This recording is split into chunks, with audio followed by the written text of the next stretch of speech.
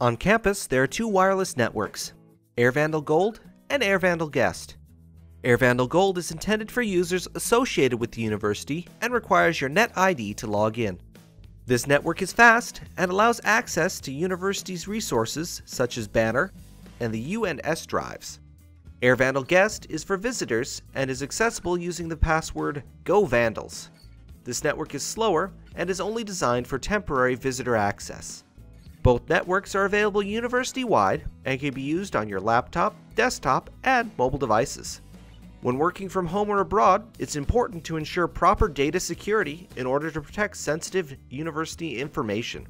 ITS provides a service called a VPN, or Virtual Private Network, which helps you create a secure connection between your computer and campus networks.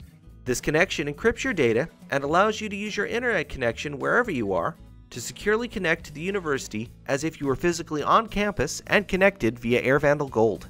Use of the VPN allows you to remotely access university services such as the network drives. This service is free of charge and easy to set up.